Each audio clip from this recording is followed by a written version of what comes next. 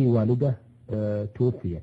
وكان عندها مال وليس لها أولاد غيري وليس لها آه، ورثة.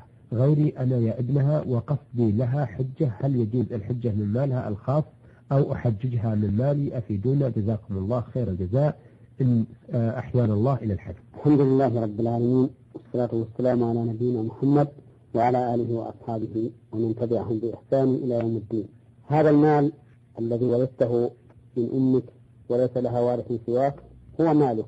ورثك الله إياه ولك أن تفعل فيه ما تفعل في مالك.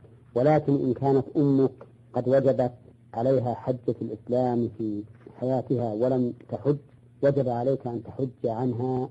وأما إن كانت قد أدت الفريضة أو لم تجب عليها في حياتها لكون هذا المال الذي ورثته منها ثمنا لحوائجها الأصلية التي بعتها بعد موتها فإن الحج هنا لا يجب عليه ولكن إن حججت عنها فنرجو أن يكون في ذلك خير. وسواء حججت عنها من مالك الخاص أو من هذا المال الذي ورثته منها.